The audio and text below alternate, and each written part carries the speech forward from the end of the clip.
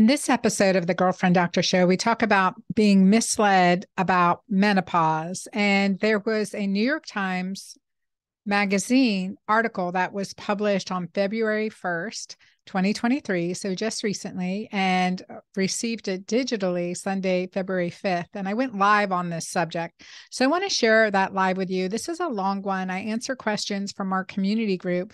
But the key thing is the discussion about menopause and hormone therapy and um, what went so wrong and what do we need to do to really balance our hormones as we go through menopause? And I am a proponent for bioidentical hormone therapy as needed.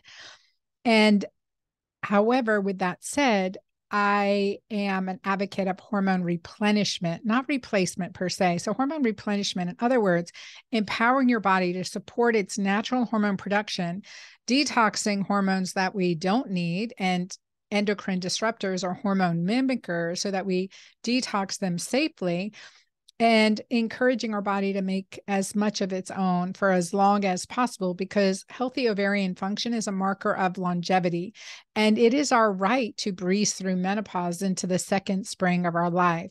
So listen to this discussion, let me know what your questions and comments are. I appreciate you. Remember you can ask or tell me anything. I love being the your girlfriend doctor.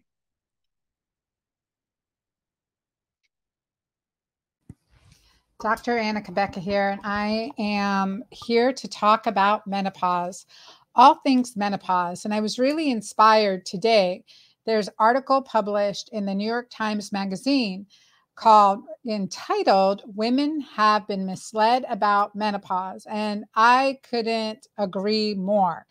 This is probably one of the best summary, summary articles I have read I have read about menopause and it has been so well done. So I really encourage you to read the article in the New York Times magazine by Susan Dominus and it was published February 1st and I just read it this morning, this Sunday morning, um, February 5th and it is an excellent summary of what's going on in for women in menopause before, during, and after.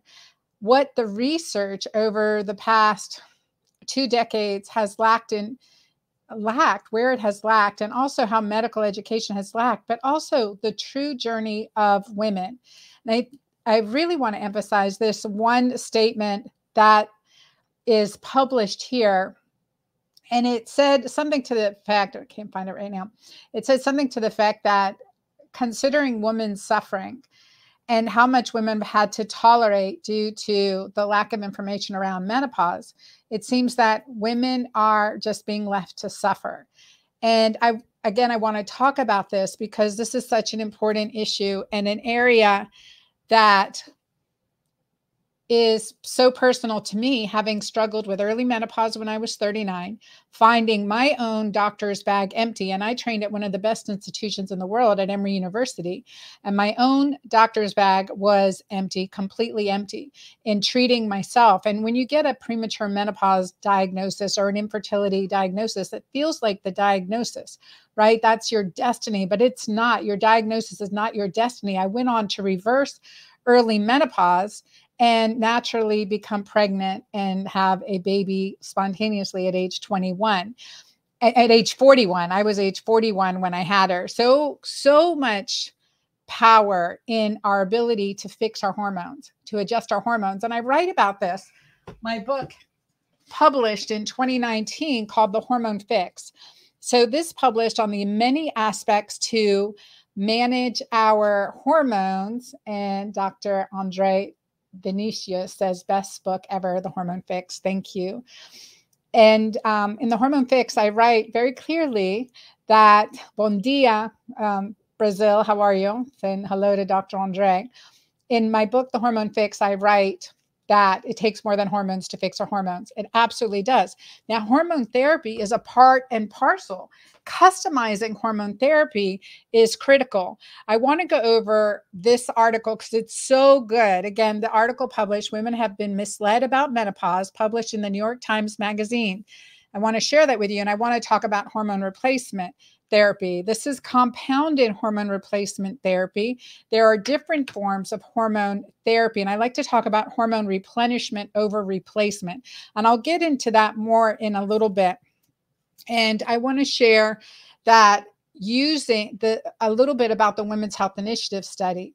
This article started um, and is written again by Susan Dominus, and she talks about her journey with hot flashes, perimenopausal symptoms, and her um, her treatment as she went into the gynecologist and the way she was advised or recommended to hormone therapy and she dug into the research. So I want to talk about this because it is significant and about 85% of women experience menopausal symptoms. 85% of women experience menopausal symptoms.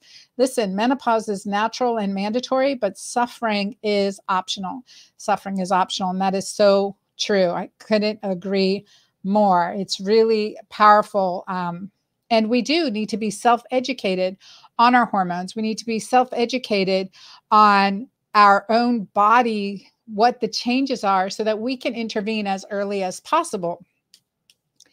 So, many of the symptoms associated with early menopause are hot flashes, mood swings, um, irregular menstrual cycles, and breakthrough bleeding, heavier than normal periods, worsening symptoms of PMS, mood swings, heart, and the ones that aren't so commonly associated the hair loss, the crashing fatigue, the heart palpitations, aching in your legs, restless leg syndrome, and um, and the list goes on right? The list the list goes on. There are a lot of symptoms. The big ones that affect our life is also the genitourinary changes the bladder leaking the vaginal dryness the discomfort with sex. As our you know as our hormones change the vaginal ph becomes more alkaline so there is more odor down there. Doesn't have to be. Again menopause is natural and mandatory. Suffering is optional. So in this article um, it goes through some of the history about hormone replacement, how Premarin came to market in 1940s. Um, and this was popularized in a book by Robert, uh, Dr. Robert Wilson, who wrote in 1966 the book Feminine Forever. And it, and I like how the author talks about this. She says that Feminine Forever can be considered a kind of historical landmark, the start of a vexed relationship for women and hormone therapy. The book was very bold for its time. And to quote, um, in it, it, in that it recognized sexual sexual pleasure as a priority for women, but it also displayed a frank contempt for aging women's bodies and pitched hormones in the service of men's desires. So a double-edged sword on that one, right? But we want to own our femininity forever. We want to own the health of our body, our spiritual energy, and this cathedral, this temple of our spirit, this cathedral of our spirit, and um, for our own joy and pleasure, predominantly, what's bringing us pleasure versus what is causing us um, trouble um, or our partner problems. And so estrogen, Premarin came out in the night, you know, came out and was released as, you know, hey, this should be in our water. This is like the answer to for women during perimenopause, menopause, and to help them on their journey. But yet, what happened was that women were given estrogen, Premarin, oral estrogen. And we talked about uh, they were taking oral estrogen and they noticed while women had an increased risk of endometrial cancer. Why? Because unopposed estrogen, estrogen dominance, excess body fat, or estrogen production, unopposed by progesterone, increases the lining, increases the thickness of the endometrium. So, what does that mean? That can lead to hyperplasia and cancer. And so that's what unopposed estrogen was showing. So then the makers of Premarin, which is Wyeth in fact, a company I worked with back in the early 90s before I went to med school, I worked in their drug metabolism department, and they are the makers of the famous Premarin Provera oral hormone replacement therapy. So they created Provera, a synthetic progestin. So they created the synthetic progestin to oppose estrogen, but only women who had a uterus were prescribed this because the theory was that, well, if you don't have a uterus, you're not going to get endometrial cancer. Therefore, you don't need this synthetic progestin. And the reason it's synthetic is because bioidentical progesterone could not be patented until we got pro prometrium, which was a bioidentical progesterone in a slow release peanut oil, and the, the delivery method was patented. And so that was a way we as gynecologists could prescribe a bioidentical progesterone that um, was often covered by their insurances. The benefit, however, of customizing therapy using compounded hormones is a whole nother level. And again, I wasn't taught that in residency. I learned that after the fact and trying to help my patients and trying to help myself with balancing hormones. Now, why the Women's Health the Women's Health Initiative study looked at Premarin and Provera and they in women with uterus who had a uterus and they looked at Premarin alone in women without a uterus. And the reason again is because their thought is that well if you don't have a uterus you don't need a you don't you're not going to get endometrial cancer so you don't need progestin you don't need this Provera. And then the re- the research was halted in 2002 with you know essentially front page news that hormone replacement therapy increases your risk of breast cancer and blood clots. And it the you know very much misinformation there was a lot of misinformation around interpreting this data plus the delivery method was oral oral estrogens and oral progesterones and we know from research that oral estrogens increase your risk of uh, inflammation, increase your risk of blood clot, just like birth control pills can increase your risk of blood clots because the oral estrogen and synthetic progestin. So those are reasons that the progest, you know, that's that's the one of the reasons this study was so flawed. Good intention, right? To show hormone replacement therapy in this double-blinded, randomized prospective trial was going to show us how good hormone replacement therapy was. However, oral estrogens can increase your risk of blood clots. And so that was an interesting finding. Now we tease that out.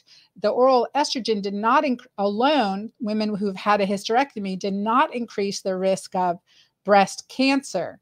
So what was the cause then? The progestin, again, not synth- not bioidentical progesterone, but a oral progestin, in this case, Provera.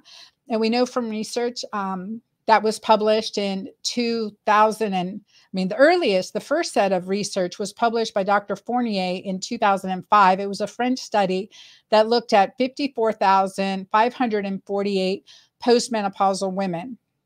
And it showed they had little to, let me share this.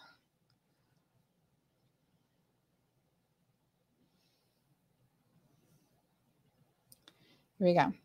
It showed that they had um, little or no increased with oral or transdermal estrogen alone or combined with oral micronized progesterone. So, for example, prometrium. However, when it was when est- hormone therapy was estrogen therapy was combined with synthetic progestins, there was an increased risk. And the conclusion that Dr. Fournier put forth in 2005 is the association between hormone replacement therapy use and breast cancer risk varies according to the progestogen used. So if it's bioidentical progesterone, there's no increased risk, but if it's a synthetic progestin, there is an increased risk. And that's really important to make note of. So that's what we want to identify and clarify. And it's great because in this study, uh, in this report, that was published in the New York Times in this article, she mentions the different forms of hormone therapy that we have available. The most important thing to remember is that we've always been able to compound hormones. In 1999, when I started in my private practice, I learned this very quickly in working to help a woman who'd had a history of ductal carcinoma in situ of the breast. And she had significant, she was 63 year old woman, had significant issues with vaginal dryness, discomfort, and it hurt to have sex. And she said to me, this woman at age 63, she said, Dr. Anna, I'm a woman of the 60s. I love my husband. Sex is important to me. It's important to us. And I'd rather die than live this way. So help me. So that's really when I started digging into the research and then compounding her the safest forms of hormone that was acceptable risk for both of us, right? And I will tell you that she's in her 80s now and doing amazing, right? She's doing amazing. She maintained her cognition, she maintained her bone strength. She was skiing a few years ago and um, even up to a few years ago. So, so it's important to look at what was going on here with this study. Um, so the Women's Health Initiative study looked at only oral estrogen and progestin. They did not look at bioidentical progesterone. And even in the oral estrogen arm, there was no increased risk of breast cancer. However, there was risk of stroke. So for me, that indicated in my private practice that women who had any risk factors for cardiovascular disease or were over 50, certainly over 55, or if they were a smoker, would always be on a transdermal estrogen. So now there are bioidentical forms of, of transdermal estrogens. The Vivelle dot patch, estradiol patches, things like that are um, are bioidentical and delivered through the skin. You can compound creams. You can compound creams or troches. This is troche. This is the way I like to do it. Although, again, uh, troches can be absorbed, um, swallowed. So that's going to also be um, metabolized by the liver. So, and again, it watch risk factors. So, how do we mitigate for risk? If we know that the benefits of hormone therapy, I like to say hormone replenishment therapy, if we know the benefits of hormone replenishment therapy are you know are, are so many things right? Better mental health better cognition stronger bones healthier breast better libido improved sex drive uh, restoration of the vaginal tissue clitoris vulvar tissue. All of these things are improvements in quality of a life reduction in hot flashes. We want to use these things as physicians to help our patients in the safest way possible. So compounding bioidentical hormones is a beautiful way to do that. And again, whether we have a uterus or not, we want to use, um, whether we have a uterus or not, we want to use a bioidentical progesterone. Typically, topically, I use my balance cream, which isn't just progesterone, it's progesterone and pregnenolone and um, includes tripeptides for firming the skin as well as the anti-aging benefits but progesterone and pregnenolone for that good memory that brain health to help getting a good night's sleep. And that's where progesterone comes in. I've used it in clients for postpartum depression for pms symptoms. Definitely menopause and postmenopause, bioidentical progesterone transdermally is the safest way, and oral prescribed bioidentical progesterone is very safe as well. Again, with or without a uterus, it's really important to understand the research around this. The study that I mentioned by Dr. Fournier in 2005 looked at 54,000 women. It was not a small study. He went on to expand that study in 2008 with over 80,000 women. Again, this is a study that was done in French looking at transdermal estrogen alone or combined with oral micronized progesterone. Again, he found that there was no increased risk with bioidentical progesterone, however, an increased risk with synthetic progestin. So, so important to look at. So, what did the research tell us about this oral estrogen therapy? There, um, a report came out in 2001. So before the Women's Health Initiative study ended, in the journal of Fertility and Sterility, a study was published, and in um, it was published looking at the effect of oral versus transdermal hormone therapy on cholesterol levels in postmenopausal women. And what it looked at was that estrogen alone decreases total cholesterol, decreases LDL, increases the good cholesterol HDL. Now that's powerful. That's with oral estrogens. Um, transdermal estrogens decreases total cholesterol, decreases LDL, increases the good cholesterol, it decreases triglycerides. Oral estrogens increase triglycerides. So we see an even better cardiac profile with transdermal estrogen. So it is safest way, especially if we have risk factors. Now, what about um, the uh, concept of transdermal progest- progesterone or transdermal levels of um, adding in progestin combination. Well, in combination, trans even transdermal progesterone improved the cholesterol panel. That's powerful. And then looked at a study by Canonico published in a cardiovascular magazine. He looked at oral estrogens and the increase in HSCRP. HSCRP is a highly sensitive C reactive protein blood marker. So it will, it indicates for us the inflammation in your body. And we know that oral estrogens can increase this inflammatory marker. So if we are monitoring you with oral hormone therapy, we should be looking at an HSCRP. That is one of the numbers that you know I teach in my course Magic Menopause, the labs that you need to know, critical labs that you need to know, you know, that are important to manage your health and optimize your health. And you can look at these numbers yourself. So if you are on any hormone therapy or just over time, you see that HSCRP number increasing, you're more likely for all the diseases of inflammation and stroke and heart disease. And so we want to make sure that we optimize that. Transdermal estrogen does not increase inflammation. So again, a very safe way to use it. All right. So, um, yeah, so the Women's Health Initiative study, I'm going to go back to this article and um, yeah, here. Here's this article that was published in 2007. It was published in Circulation in Canon, um, by Dr. Canonico and research team.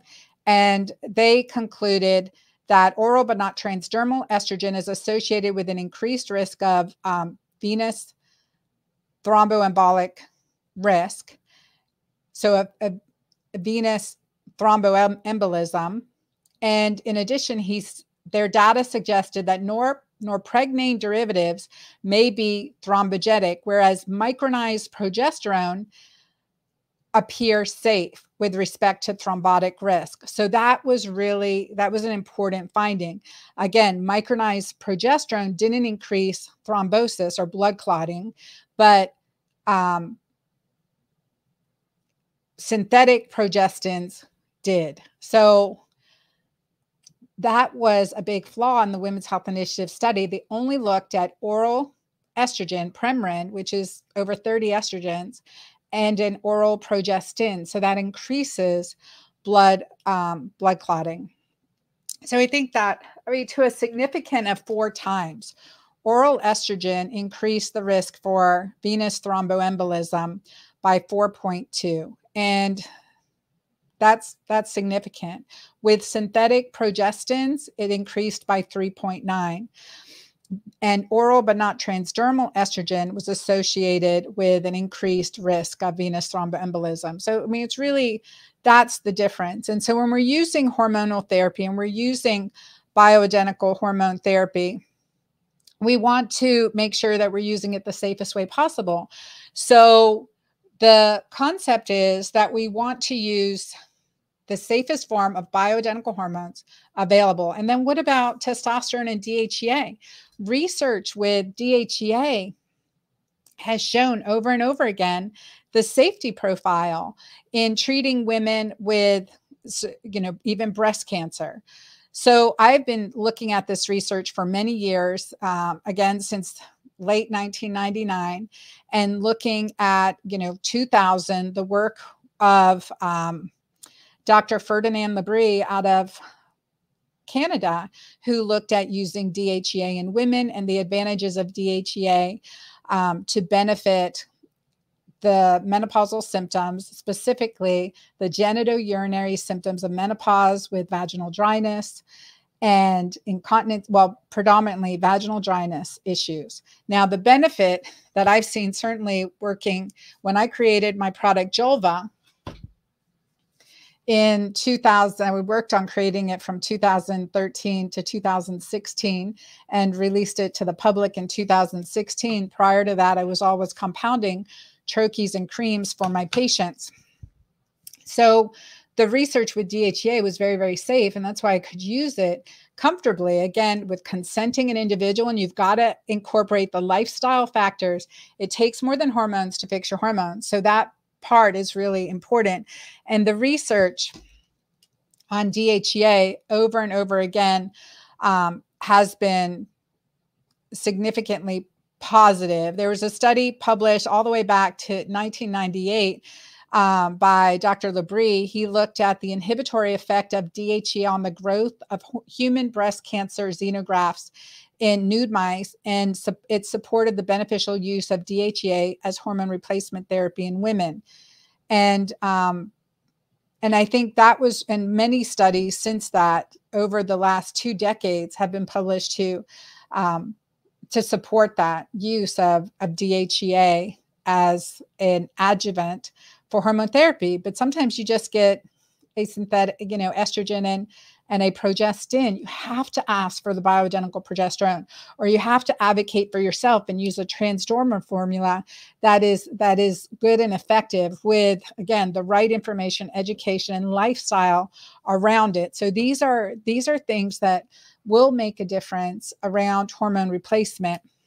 Um, but even better than hormone replacement is hormone replenishment because we want to this is my big beef on on hormone replacement is oftentimes we give suppressive doses of hormones whether it's you know whether it's your estrogen and progestin progestin will shut down your ovaries natural production right that's why we have progestins in birth control pills and it's not a bioidentical progesterone it works to shut down your ovarian response. Now, we want to enhance the life of our ovaries. We want to enhance our body's hormonal production for the rest of our lives, right? I mean, don't you want your body to produce its own natural hormones as long as possible in the safest way? you know for as long as possible yes yes i do so that part is using adrenal adaptogens that is part of detox the keto green lifestyle that i talk about all of that can make a really big difference. So, I want to answer some questions that are coming in here. Um, Tracy said, What do you think of using an IUD for hormone replacement? Is that a biological hormone? The IUDs that have hormone in them, there's the Skyla and McKenna IUDs, have a progestin. It is not ideal. If we need birth control, I like the Paragard non hormonal IUD.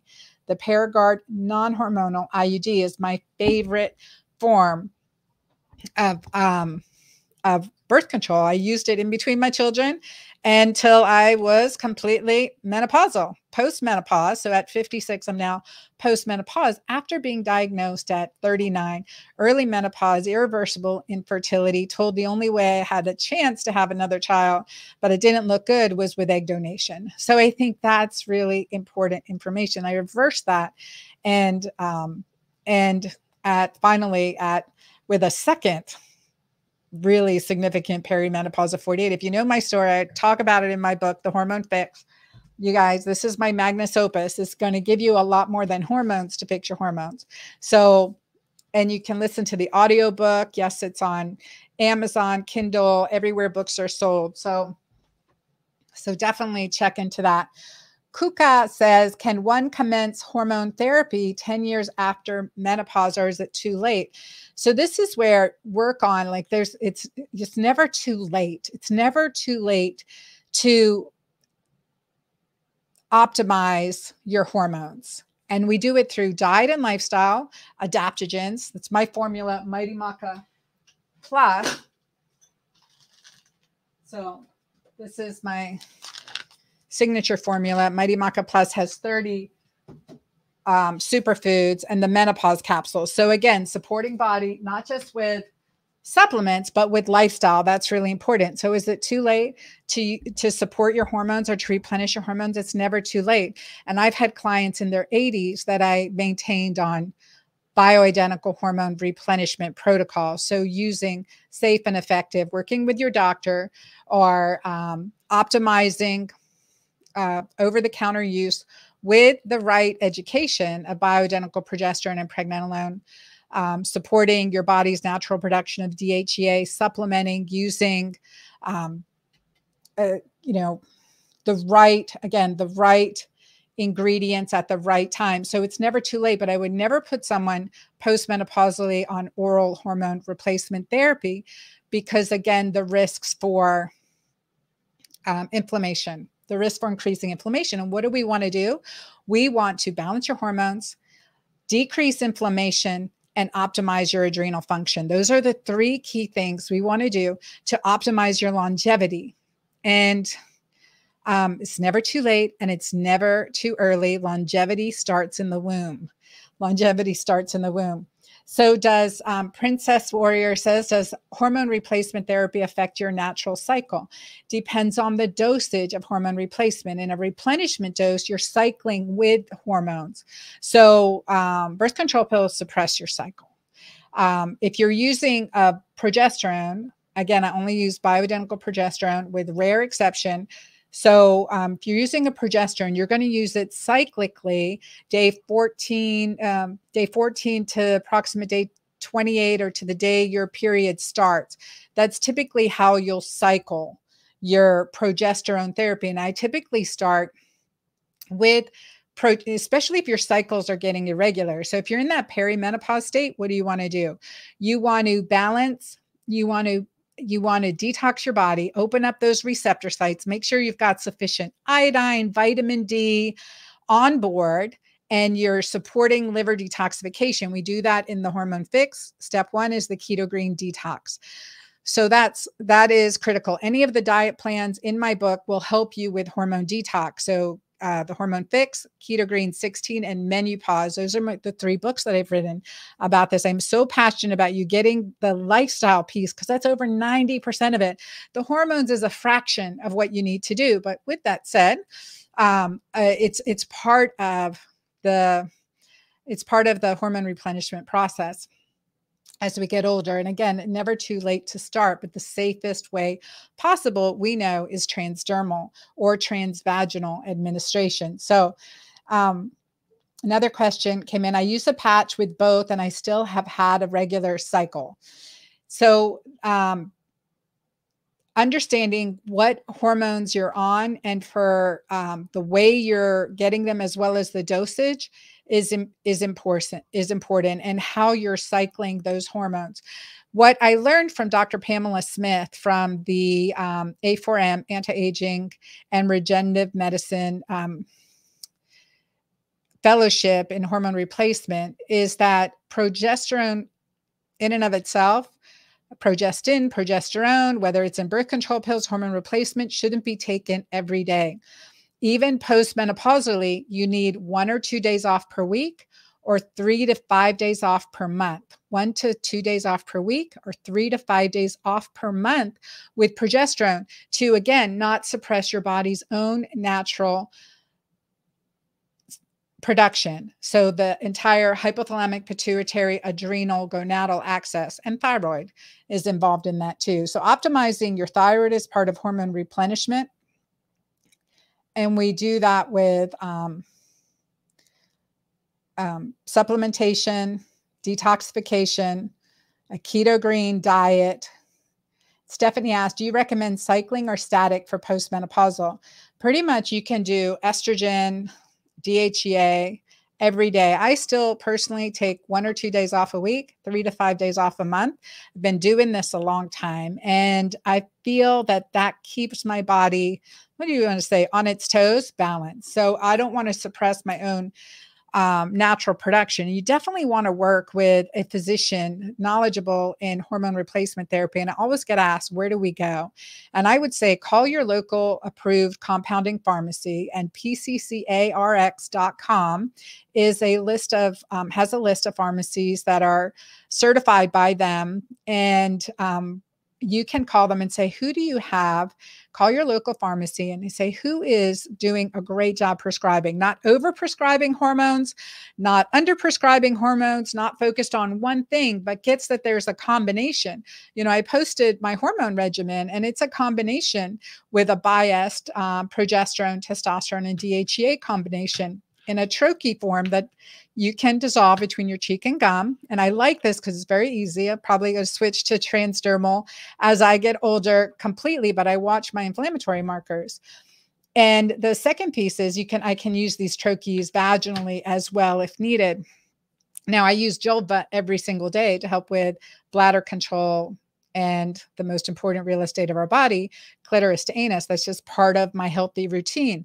I want to maintain healthy sexual function, bladder control, and keep that tissue healthy as we get old because we know we want to live a quality life as much as you know as much as possible. So between pelvic floor exercises and Julva bioidentical hormones the adaptogenic formulas the mighty maca plus following a keto green lifestyle these are key things that help me has, that have helped me get to this point. Again reverse early menopause breeze through menopause and um, be a healthy happy grandma who got to deliver my grandbaby this last year. So i was excited to be able to deliver her. Uh, a joy it's a joy and uh, like what is the meaning of the second half of our life the second spring of our lives? We want to live with energy with passion right with joy. So you know that's what we're living for here. Okay so if you guys have written me a question, go ahead and retype it. I want to answer your, oops, I want to answer your question. And I know um, they've been uh, coming in. Can you take the Mighty Maca when you're in your mid 40s? We have, you know, youth basketball teams on Mighty Maca. It's better than Gatorade, for instance. It's got all 30 adaptogens. They recover faster. I have pro athletes on Mighty Maca at all different ages, well as an Olympic athlete, and women girls, boys. It's an adaptogenic formula. It really does support you. So, yes, you can take it. And as a family, you can take it. Stephanie said, um, see, that was the cycling question. So, Stephanie, let me know if you have any more questions around that uh, cycling. Um, Princess Warrior, I have a patch with both. Okay, answer that one. So, you guys, if you have another question, go ahead and add that in. JM Carrier said perimenopause here. Hormones are up and down, lots of side effects. My doc put me on Prometrium, Prometrium for three months to regulate. Is this good? No one knows what to do with what I'm feeling. So, first thing, read my book, The Hormone Fix. It takes more than hormones to fix your hormones. I think oftentimes when I have someone in perimenopause and they're having irregular menstrual cycles, you guys, I just want to pause a second. Be sure to follow me at the Girlfriend Doctor on social media. Sign up for my website on my Start Here page. There's my hormone toxicity quiz. It's step one take the hormone toxicity quiz. It will help you guide you on a journey with education. The second step is to watch my Three Secrets to Hormone Harmony masterclass. And I tell you more about my journey. This is so important, especially in perimenopause, to be able to sail through menopause. Again, menopause is natural and mandatory, suffering is optional. So I like to use, I'm glad you're using a bioidentical progesterone. And sometimes you can use that continuously for two to three months if you're having irregular cycles or cyclically from after ovulation or around day 12 or 14 till your period starts or for 14 days. And you can cycle it that way to try to recondition um, your hormonal cycle. And that can really help. So, um, that is a good question. So Stephanie said, is DHEA a hormone we should be taking too after menopause? I use it daily. I use it topically because it's in my Julva cream. So DHEA is something that I use daily. And I will tell you that I do in conjunction with supporting my body's natural production of DHEA. When I was in my early 40s and I was struggling with post traumatic stress disorder, burnout, adrenal exhaustion, or hypofunction. My DHEA was in its teens 13, 17, one time doing all these other functional protocols. I got it up to 34. But as I released, as I worked on my formula, to help with my energy, hormones, as well as what I believe help with my fertility. So, in other words, improving ovarian function. um, my formula Mighty Maca, I released that. And as I was doing that two, three scoops a day, my DHEA went up to over 200. Not doing anything else different. That's the power of supporting your body's natural production of hormones, and um, and and so that's a piece. So again, replenishment. Don't just replace. Let's get your body to make its own natural hormones, and you have to to support DHEA. You have to do stress management. You have to improve oxytocin, the most powerful hormone of our bodies. And again, read the Hormone Fix because I talk about I talk about oxytocin in all my books but I go into it in more detail and the stress cortisol oxytocin connection in the hormone fix. So so make sure make sure you get that.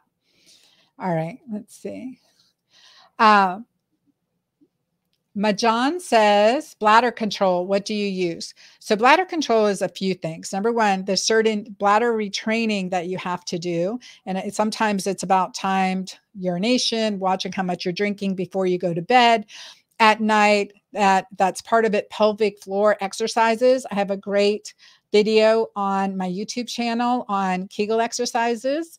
So i have a couple good videos on my youtube it's got hundreds of thousands of views. And it's me on the tennis court with a seashell. Anyway that'll be the video to watch for the uh, proper way to do um, pelvic floor exercises. Plus the vagina coach here on instagram is just an amazing resource. Kim Vopni is fabulous for pelvic floor exercises and how important that is and the right way to do it. So, also, I use Julva. And if you're still having trouble with bladder control, again, food can irritate your bladder. There's a few different types. Um, there's urgency incontinence, stress incontinence, mixed type incontinence. There's, it's called post void dribbling or when you urinate, but then you leak after you have completely felt like you completely emptied your bladder. And that is often a structural issue. So improving the condition of the tissue of the pelvic floor is, is critical. So pelvic floor exercises done properly, strengthening the pelvic floor using a product like Julva, which has DHEA and plant stem cells in it, as well as significantly effective emollient ingredients to help with vaginal pH and um, bladder control. That's key. You can also have your physician prescribe additional hormone therapy, including testosterone and or DHEA vaginal suppository. Prasterone was released in the USA a few years ago. So that's another thing you can do to help with that. Again, depending on the reason for the issues with bladder control. I've had four big babies. You know, I'm not shy anymore to talk about it, kind of. but four big babies, I delivered them all vaginally. I had a very significant issue with bladder control. And I was a surgeon. I did many stress urinary incontinence procedures until I got really good at using bioidentical hormones for preoperatively. Um, you know, when I did get very good at using bioidentical hormones and uh, pre preoperatively, my patients would come in for the pre-op visit and say, "Dr. Anna, I no longer have ha- have having symptoms. I'm not leaking anymore. I went for a run. I'm jogging, um, jumping on the trampoline. I'm playing, laughing, and no problem." So surgery became unnecessary, and I think that's what's really important. Again, depends on the reason but it's powerful. Princess Warrior says, Do you ship to the UK? Please email my team at drannacabeca.com. So T E A M at drannacabeca.com or message us in the comment section and we'll tell you where to get it in the UK. Tracy said, What book should I buy to learn about all the hormone replacements? So, my book, The Hormone Fix, is a great starting point. That is key. Dr. Shawn Tassone's book, The Hormone uh, Bible is an excellent resource. So I also recommend his book very, very much. Okay. And Stephanie says, You mentioned taking a day or two off each week so you can make your own hormones. But in menopause, can we even make estrogen anymore? So, what research has shown, and this study was published uh, quite a number of years ago, it looked at the postmenopausal ovary. The postmenopausal ovary, even age 65, is assumed to be is producing levels of hormones, predominantly some testosterone, a little bit of DHEA, but you're still producing hormones. And the longer we maintain our ovaries, the less risk for cardiovascular disease we have. So, so I think that's really an important piece. Plus, our adrenals in the postmenopause take over production of the majority of our hormones, DHEA, progesterone, etc. So something to consider. We don't want to completely shut down by taking daily suppressive therapy.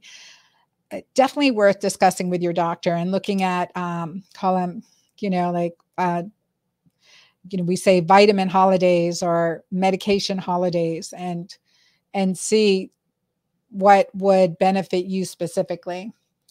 Um, Deba says, What do you think about internal um, progesterone cream? We I use a bioidentical progesterone and pregnenolone, and this can be used also topically on the vulvar area versus intravaginally. Um, I have definitely prescribed intravaginal progesterone for fertility, as well as for issues with prolapse.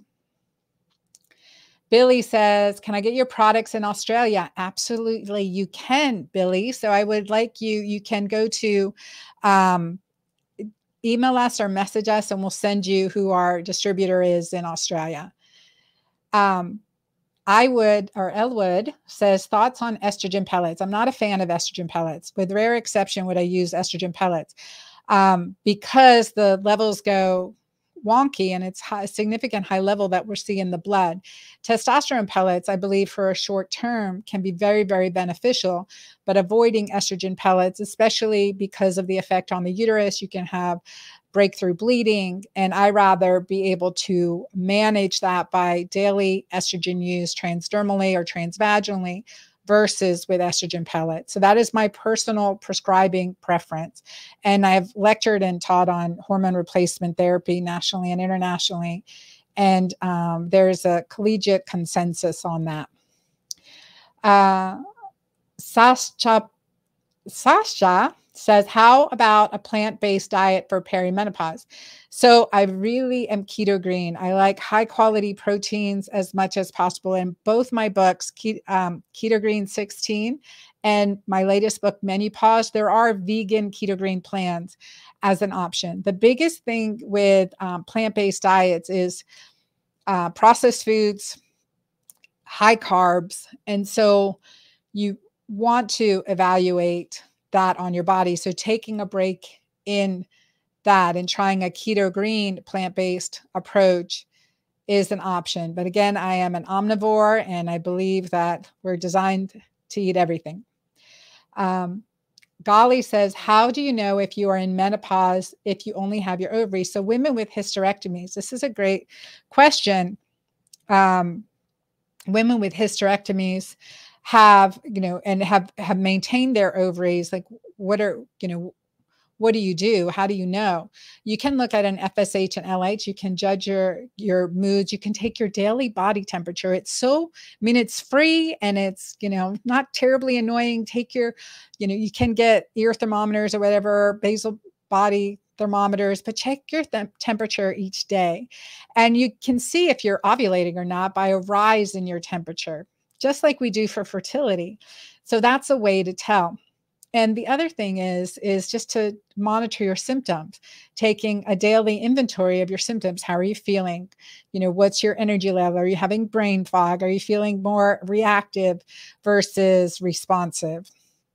And so those are some ways to tell. And also, um, it's hard to tell when you don't have a uterus because we don't know when your cycle technically would be what are days we would typically check if you have your uterus on day three of your menstrual cycle day two or three we would look at an fsh and lh and an estradiol and an anti-Müllerian hormone. So you can have these levels checked but just because we don't know where you are in your cycle it's a challenge. But the anti-Müllerian hormone would be a test that that you could look at.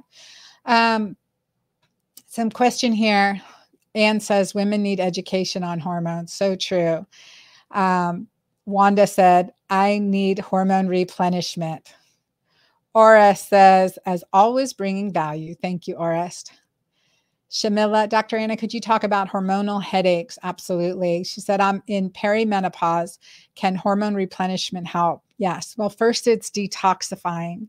De, you know, the first step is to detoxify, detoxify your hormones. With the um, in the hormone fix, we go through a keto green detox and we support your body with detoxification support.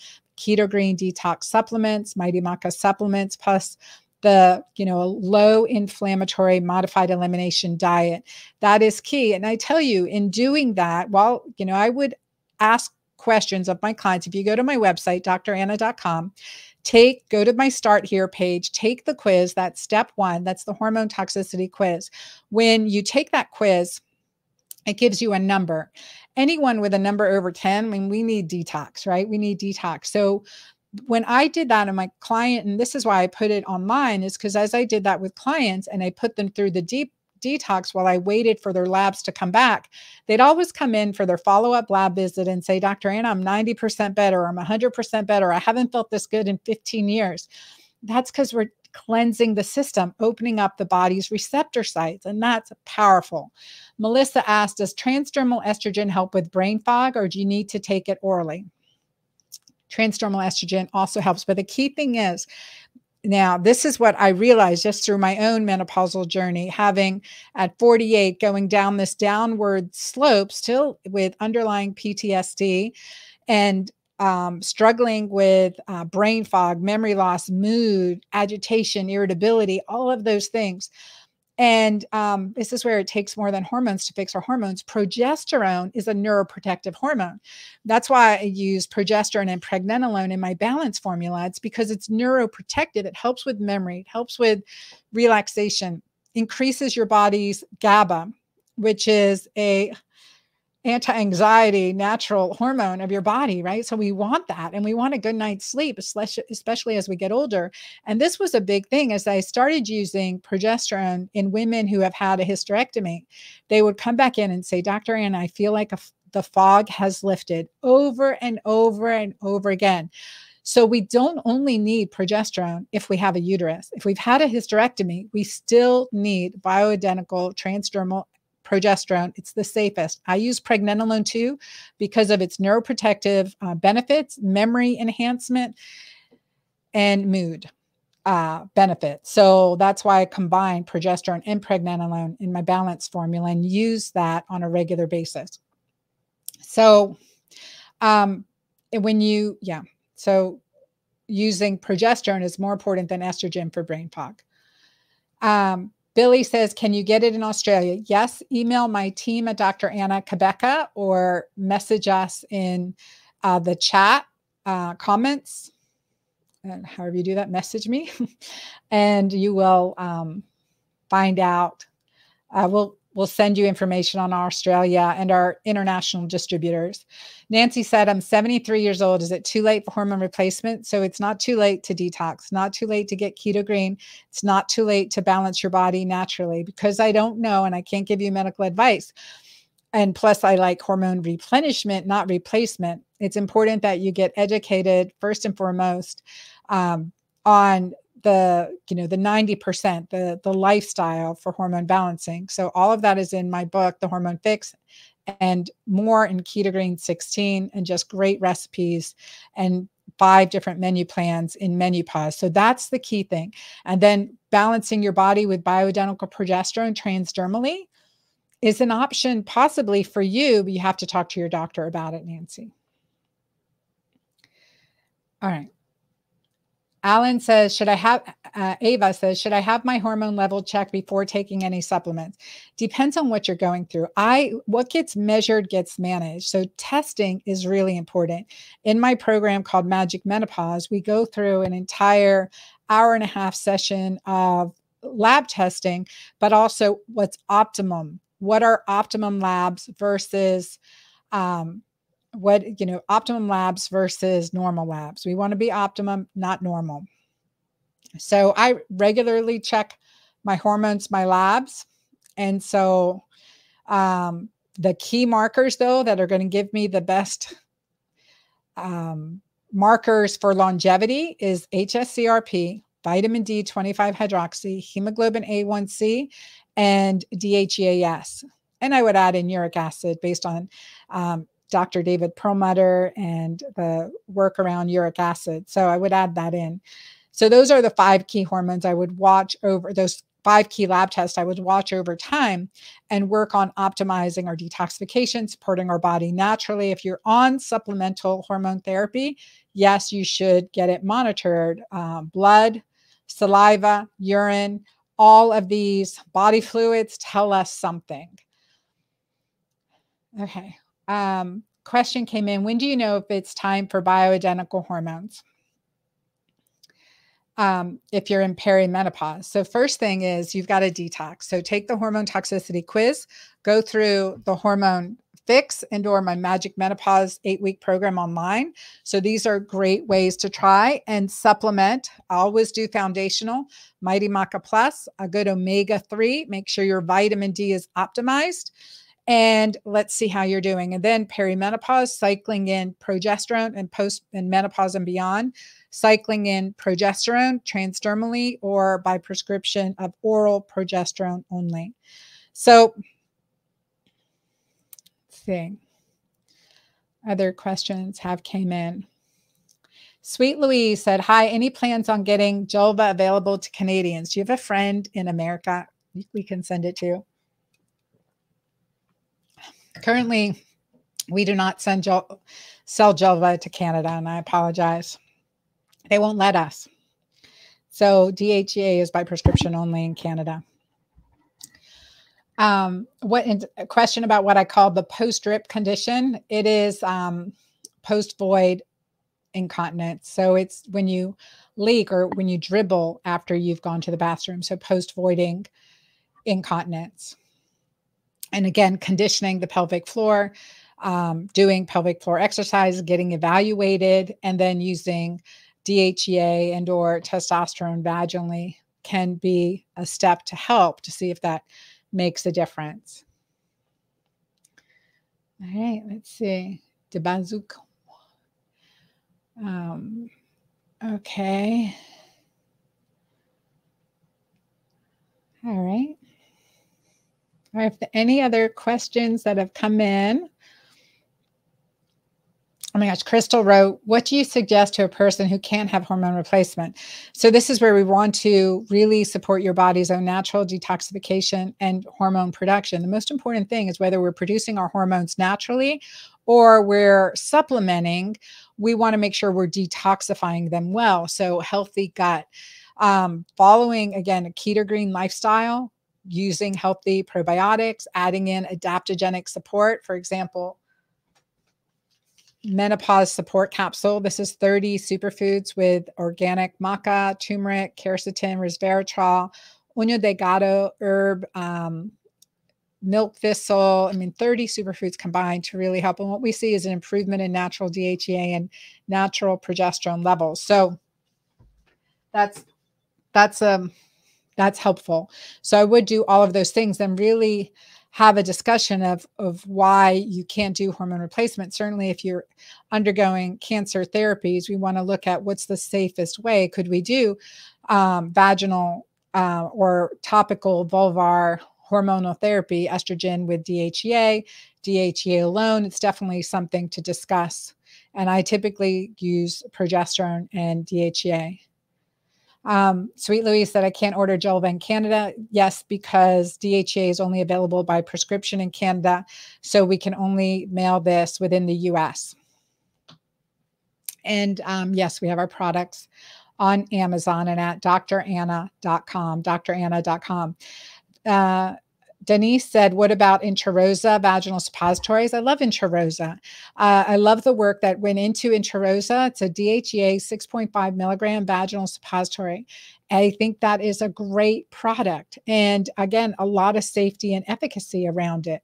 I always, I like topical, like topical cosmetic, a vulvar cosmetic. And I made this for that reason that if it, like I always say, if it's not bringing you pleasure, don't insert it. But the work that DHEA does to decrease vaginal dryness. And just like with Intra-Rosa, vaginal dryness, improve your body's natural hormone secretion. I mean, it's game changing. It, it decreases the vaginal pH. So you have less bacterial vaginosis, less odor. Your body's naturally producing its hormone. And we see that we see that all the time with Julva and with Intra-Rosa. That's great. And if you're going to do even a suppository for incontinence issues or to prepare yourself for possibly if you're looking at incontinence surgery, you want to add in testosterone if you're going to use that vaginally, at least for a short time anyway. Lauren said, I've not slept in seven years from menopause, moody, and weight gain. Well, I, I hear you. So you definitely want to listen. Go to my website, the Start Here page, take my hormone toxicity quiz.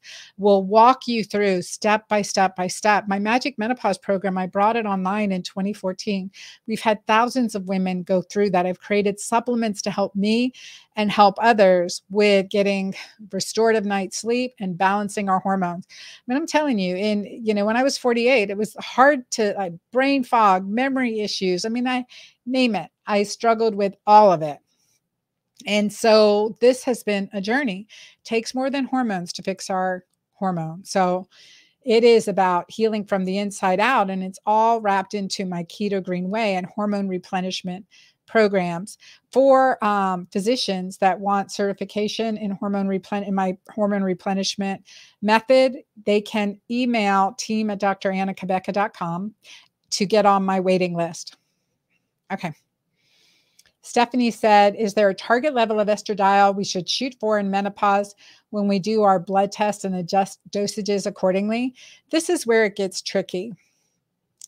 Stephanie, because if we're depends on how we're using hormones. If we're taking oral hormones, we'll see them in the blood. Transdermal hormones, not so much. So we really do. It's because there's not an ideal way, and this really is a struggle. There's not an ideal way to test your hormones because hormones are energetic molecules. Hormones are energetic molecules. So, you know, until we have a really good way of measuring them over a 24 hour period, a 30 day cycle, we're, you know, it's the art of medicine that comes into play. And women, especially have good intuition. I mean, you have to really be in touch with how do you feel. Now, sometimes we we don't even know how we feel because we're so used to faking it. I don't know if anyone can relate to that, but you know, or people pleasing. And I got to make sure everyone else is taken care of before I'm taken care of. And we're so out of touch with how we really feel. But how we feel, we, you know, we want to optimize that on a daily basis. So when we look at target levels, I do go through target levels in my Magic Menopause program in context. That is like an hour, that's an eight week program, and the lab testing and optimal lab uh, evaluation is a course, is a class in and of itself that we go into that in detail. So I highly recommend that. And that is my Magic Menopause program. More information on that at dranna.com. So you want optimal levels, but again, it depends on how you're taking it versus how um, we're measuring it. So urine will tell us one thing, saliva will tell us something else, and blood will tell us something else. And it's important to look at all three at some point. Anna says, Can you talk about early ovarian failure? Is hormone replacement therapy a must? Um, you know, early ovarian failure, this is such a specialty in medical practice. This is where um, you can uh, share a little bit more about what you're going through, but early ovarian failure, premature, premature ovarian failure is, um, I was diagnosed with that at 39, reversed it. So again, replenishment, supporting your body's natural production of hormone. Why are the ovaries failing? What's going on with the HPA axis? Why is it being shut down? Is there an autoimmune condition in place? Really work with a functional doctor about this because it's such a specialty area and there are many reasons that we could be in ovarian early fa- failure for me it was trauma it was pure downright trauma so completely shut down my HPA axis. So I think it's eh, you know it's important to look at look at that. Um, Mindy from Energy Holistic Health says, What's optimal range for testosterone? So, postmenopausally, if I'm looking in your blood, it's 60 to 90. That's where I like to see it. Now, you know, not higher, not too much higher, not too low, but it really depends on how you're doing. So, women very different than men. Men, we want to look at it at 600 to maybe a thousand but for women around 60 to 90 but what's the sweet spot for you and where is that testosterone going and why if it's low why is it low we have to ask that when our hormones are low or if we're experiencing early ovarian failure or perimenopause why? What is suppressing our body's natural productions? Always toxins. It's always stress, right? These are two key factors that play with our hormones. So, uh, managing that, working, increasing heart rate variability, increasing oxytocin, insulin sensitivity, managing cortisol. All of that is in my book, The Hormone Fix. I'm going to show that to you again because this is my Magnus Opus. Listen to the audiobook, get the Kindle anywhere books are sold, The Hormone Fix. It's also at my website at dranna.com. So, Billy said, Should you have labs first if you have gone through menopause totally without assistance? It's always a good idea to get labs, but don't delay on starting whatever your next right step is and that is for me take first take my hormone toxicity quiz and that is on my start here page at dranna.com d-r-a-n-n-a.com so be sure to go there. Um, Tracy said, What do you think about rubbing bioidentical um, cream on your calves? I, mean, I think you want to alternate where you're using a cream. With my instructions that come with my um, progesterone, my balance cream, which is progesterone, pregnenolone, tripeptides, and essential oils, great um, hormone balancing cosmetic cream, smells really good is you want to rotate sites where you where you apply it and you want to apply it to thin skin so where you see veins so you know you see veins on your inner arm on your chest on your neck. So you can rub it in these places lower abdomen but you don't want to do the same place all the time because you will saturate the receptor site so sometimes when i see my patient and they've been doing great great great and then they're like oh i'm not not getting great results anymore. What's going on? I'm like well tell me what you're doing. You know how are you eating? What's your show me your three day food diary and your sleep you know scores and all this good stuff. And you know how are you taking your hormones?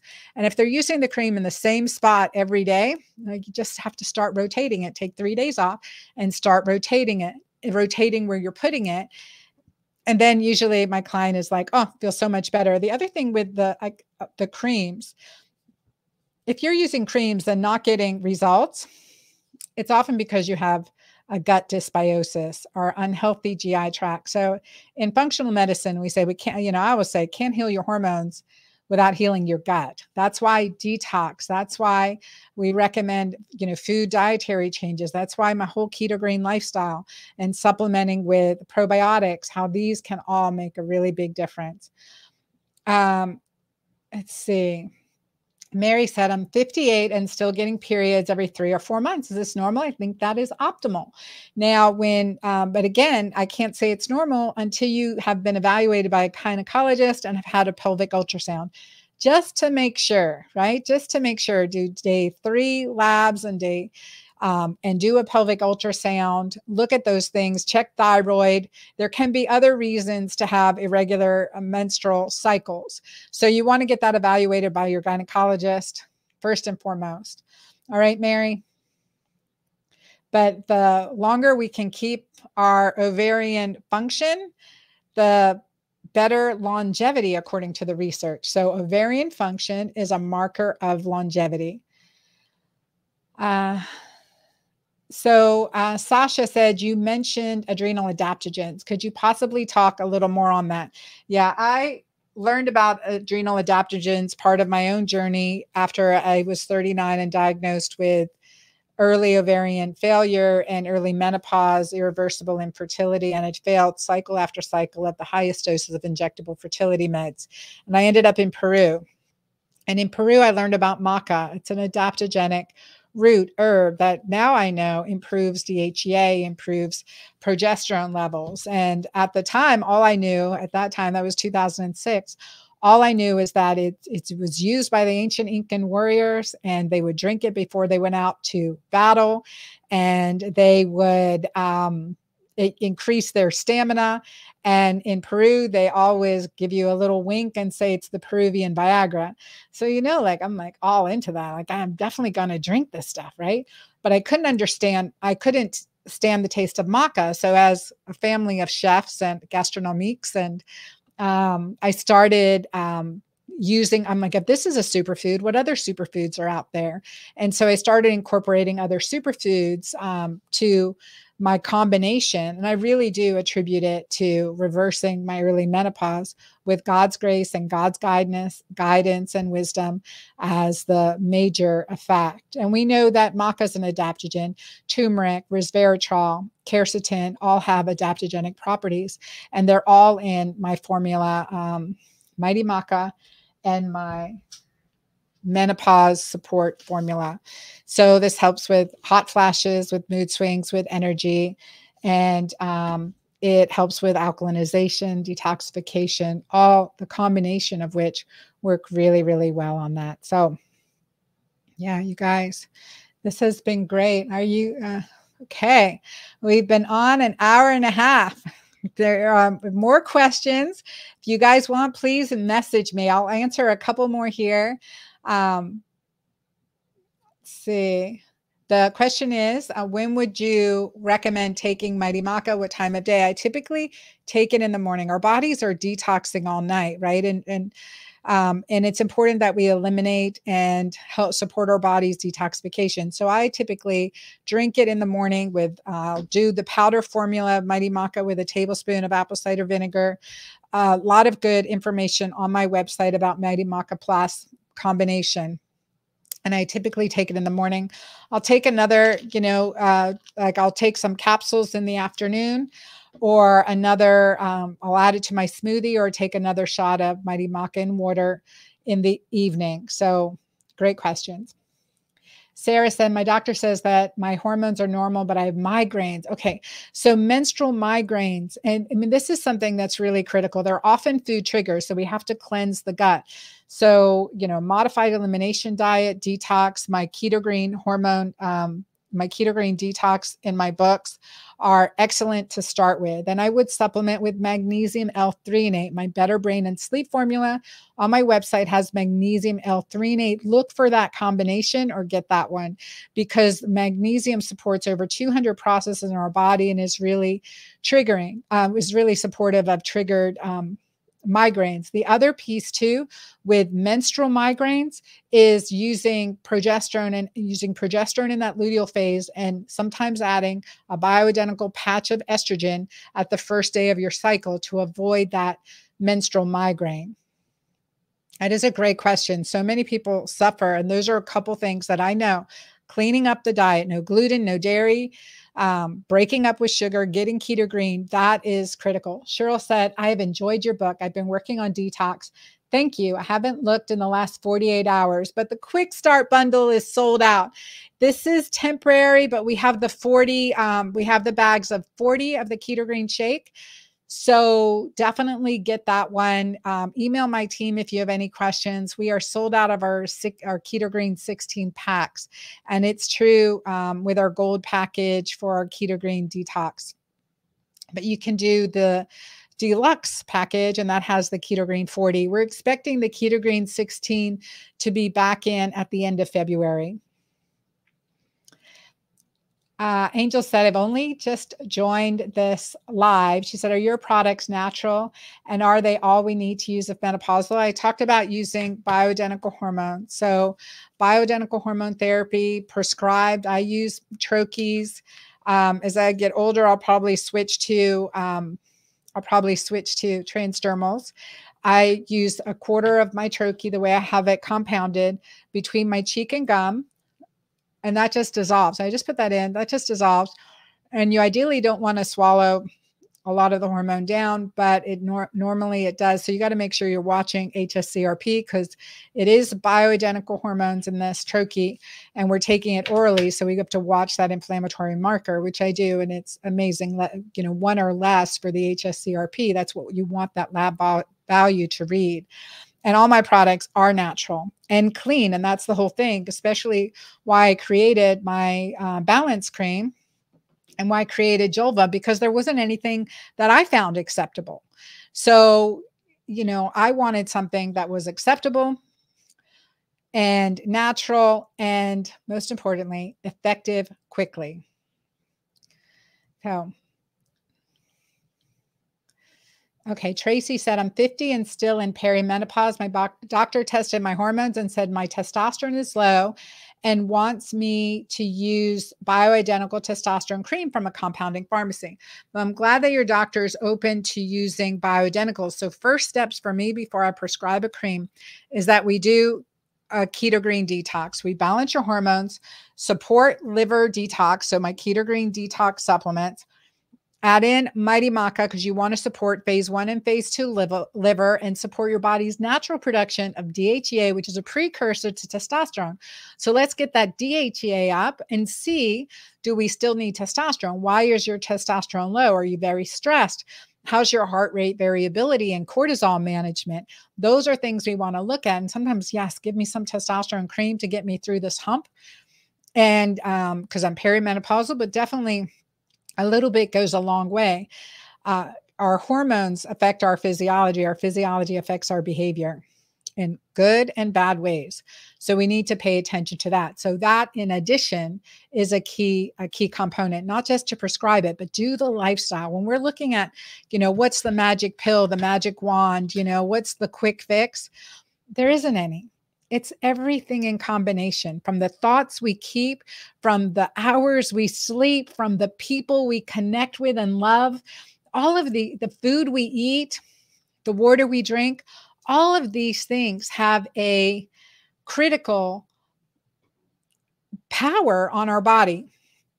So Billy says that uh, magnesium can magnesium be affected by menopause as I cannot keep well maintained. So magnesium is involved in 200 processes of our body. The magnesium L-threonate crosses the blood-brain barrier and it's critical to make sure we optimize magnesium. When you're testing magnesium, again, I teach this in my Magic Menopause class, we want to look at red blood cell magnesium.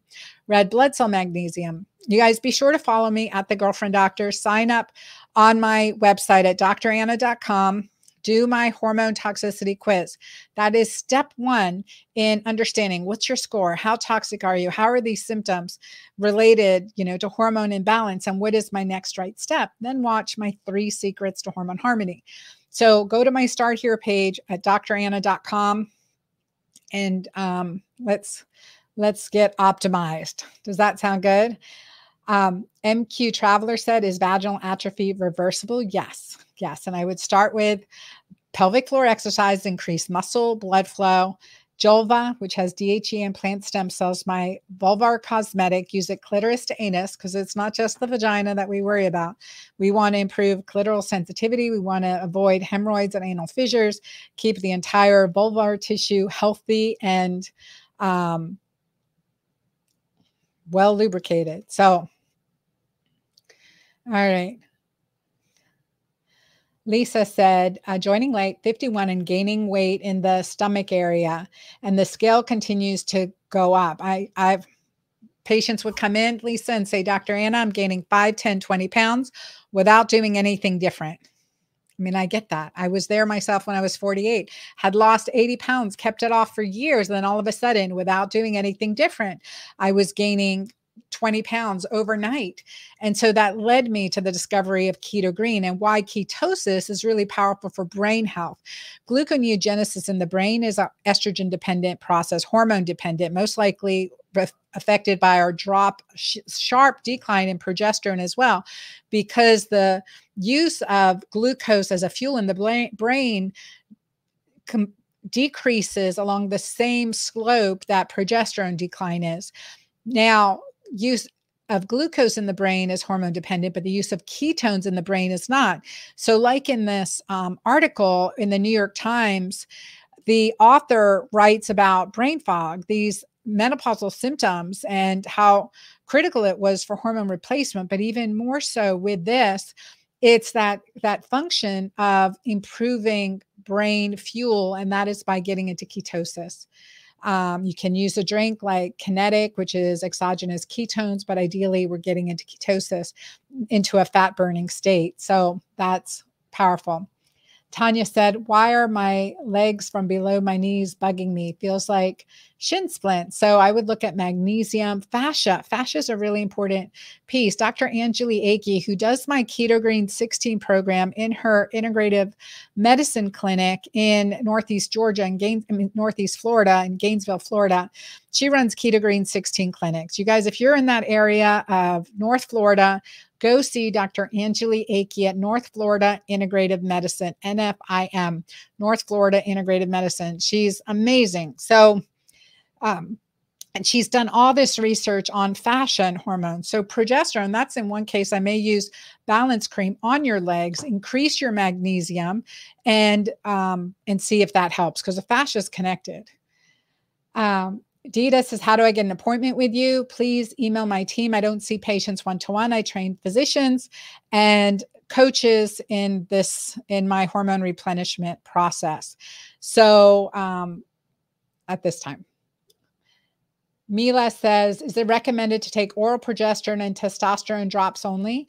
There are some, you know, there are oral um, progesterone tinctures and testosterone tinctures that are options. Um, so you guys are been so many good questions here. Um, I thank you. Definitely send a message. I'm going to wrap this up. First step is um, first step is go to dranna.com and do my hormone quiz. Step one, take my hormone quiz, and that'll lead you on a journey with me. Um, Sherry says keto green kit is out of stock. Email my team. We have the deluxe kit still available. The 16 packs are out, but the 40 serving is available. So we are um, substituting that serving. I want to answer Denise's question said, why is Julva exp- expensive? Julva is $69. That's less than a dollar a day. It's a compounded formula that is shown to reverse age the vagina. I have a 65 year old patient and she says, Doctor, you know, she's her gynecologist told her she has the vagina of a 25 year old. She's been using Julva for years now. Reversing vaginal changes, bladder issues, that is priceless. It is less expensive than anything I could compound for you via prescription and works even better. That was my goal to create something over the counter that worked better than anything I could compound. So that is Julva. Um, you guys, so many good questions. I thank you. Uh, thank you for being here. And be sure to follow me at the Girlfriend Doctor. Share this live with a friend. And I will see you again soon. So let me know what you liked and what more you would like to know. So thank you guys so much and you want to put a comment in, tell me what pearl that you learned. That's important. There's um, a question about endometriosis came in. I mean, anything we can do to decrease inflammation, balance our hormones, heal the gut, make us less sticky, so to speak, is going to help. And definitely, endometriosis is very tricky. So, empowering your body's hormone balance is key. Gali uh, said, Thank you. Very informative. Love your mighty Maca and Julva. You are very welcome. Um, thank you guys so much. I appreciate you. Thanks for all your questions. Follow me at the Girlfriend Doctor and take step one, which is my hormone quiz at dranna.com. God bless you all. Till next time.